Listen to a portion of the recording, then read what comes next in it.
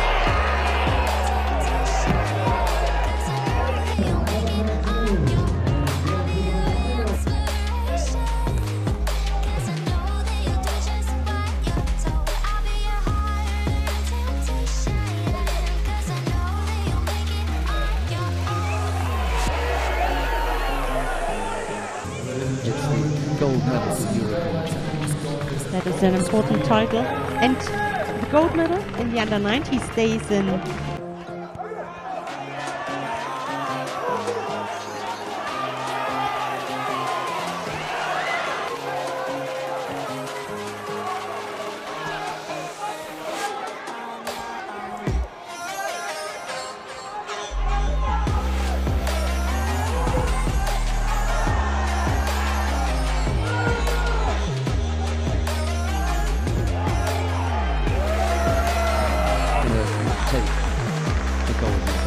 Yes. And remind us